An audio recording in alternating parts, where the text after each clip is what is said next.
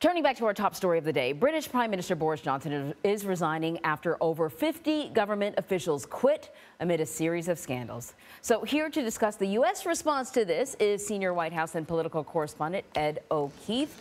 Um, Ed, everyone knows the U.S. and England have a special relationship. Uh, looking to England and our top story, Prime Minister Boris Johnson resigning, of course. What has been the response uh, from, from the U.S. to this news? Good morning, Anne Marie. There is no official response yet from the Biden administration to this morning's political developments, but they were asked yesterday about this, and the White House press secretary said they didn't want to engage in domestic political affairs in another country. Mm. Keep this in mind, though. Uh, this president obviously has worked very closely with Boris Johnson.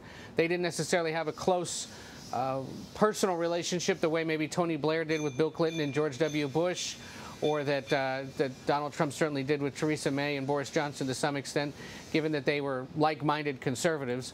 But one thing this White House will be concerned about is ensuring, and it looks like it won't be an issue, but ensuring that the United Kingdom remains committed to helping with the war in Ukraine, uh, with sustaining the way that NATO is responding in such a united way to the ongoing conflict.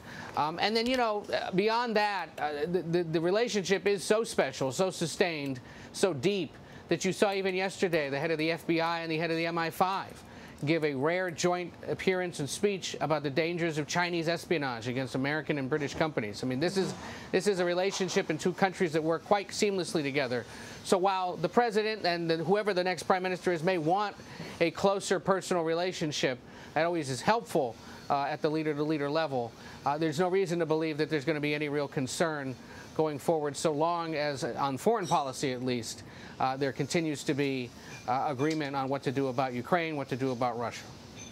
Yeah, Ukraine. Sorry, and China, China, China. That was the other one, of course. Ukraine, Russia, and China. And I was also thinking trade as well, because we know with yeah. uh, the UK getting out of Brexit, they have to renegotiate uh, trade agreements um, with a lot of different countries. Um, hopefully, Ed, we will be able to talk to you a little bit later about all of this. But for now, I got to say thank you.